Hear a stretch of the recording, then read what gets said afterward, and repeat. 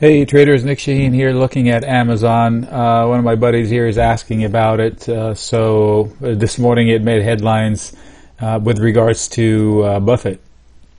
And um, so let me rephrase it with regards to Berkshire. So is it time to go long or not? All right, so the, the, the easy answer for Amazon is a matter of time. This is a monthly chart, so basically from the end of time. You know, people kept trying to um, short it all along, and somewhere along the lines, I drew this chart and I put this note in there, and I said, if if if you can see this, if you connect the dots back here, they pointed to here, and that was. I remember telling my friends saying, buy the dip to, to, to 800, and that was right here. And look where it's at now. Uh, back to reality. One day chart. I know there are tons of lines, but they don't really matter. Uh, in fact, boom, line's gone. Let's talk to this chart right here. So it's somebody asked me, is it okay to go long Amazon via a debit call spread? The answer is sure, but it's a bet on uh, the whole market. In other words, if Amazon is running, I doubt the market is falling and vice versa. They're not going to go in different directions for too long today's move was, uh, you know, muted given the headline, but it's really somebody at his office that actually went long it. So uh, Berkshire is long, but not him, although he d- does agree that he missed it. All right, so uh, obviously the markets are open. So what now? I can tell you that I see levels and they are pivotal. And the biggest one is somewhere around here. And if you can see visually, there's just as much action above or below. And if you want to say this was wrong and this was wrong, somewhere in the middle lies the truth. And but they're using it as a uh, pivot point. So uh, resistance right here, resistance, resistance, resistance, and then boom, they break out of it, and then they they test it for footing, and then they say, okay, we're solid, let's go, and they go up. So now they're coming into this little cluster up here, which was a complete fail before but therein lies the opportunity. So if you tell me markets are going higher, they're going to bust right through this and it's going to 2100.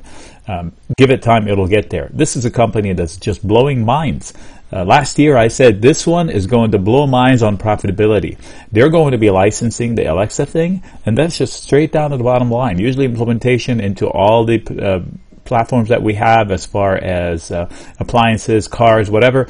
It, it, the, the incremental cost to actually put it in something is small and the revenue is recurring and it's just you know what Buffett loves right? So the profitability is going to change for Amazon in a good way.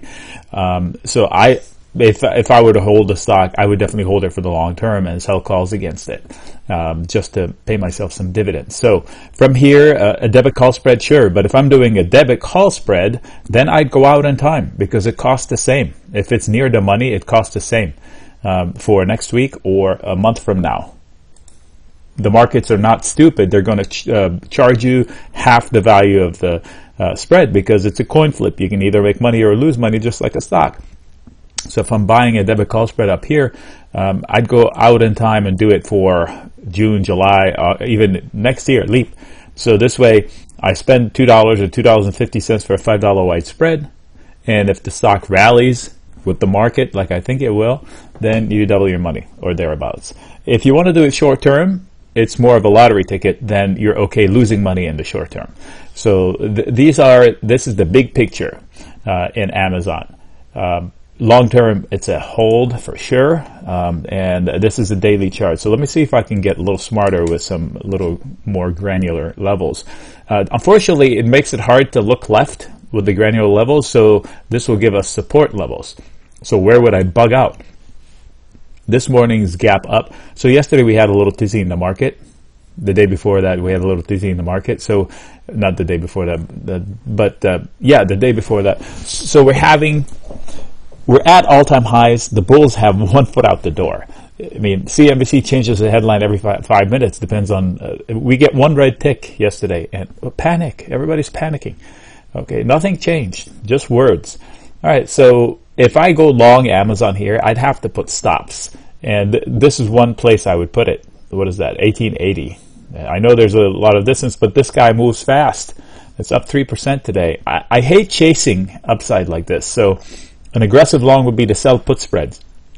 And where do I sell them? I sell them somewhere on here for the next few weeks. Why? Because this is a, uh, a breakout zone. If you want to look at it, it's some sort of a neckline right here. I could draw a neckline on it. So this would be a place where they could come back and retest, but it should hold. So this is one place. Uh, this is a shorter term. So this whole zone here is one place. And if you see here, uh, boom, resistance, you can call it here failure again, and then finally broke out from it. So this is a neckline. So if I can get some, um, if I like to sell naked puts, if I want to own shares, this would be it. Shorter term, longer term, this is a point of interest where both bulls and bears actually agreed on price, so they could come back to retest that. But if it's if they do, it should hold ish. Uh, this is an absolute floor for uh, since February, uh, and this is the Christmas debacle. Christmas debacle was sentiment was horrendous, but you know if we had lost this one, it was going to 1200 technically. Uh, so this right here should be solid, solid, solid footing. So somebody that likes to sell naked puts to own the shares, uh, this would be a good way to generate income. I bet you the premiums are insane down here. You can still make uh, gobs of money selling puts in Amazon. So back to reality. This is a stock that is going to go higher if uh, markets are going higher. It's not going to fall alone. It's not going to rally alone. So look at this uh, whole cluster. This worries me a little bit, but it's a wide zone. Um, this is where we're at, 1960, and this is where it's at, uh, 2000 and change. So, you know, trillion dollar or not, this is a winning team. They know what they're doing. Now it becomes too technically. Now, if it follows the market, I was uh, tracking the IWM, the the small cap, this yeah, the small caps, and what does this look like, right? It looks like a massive inverse head and shoulders, which is bullish. So again, neckline, neckline, neckline right here, and they look like they're breaking out of it.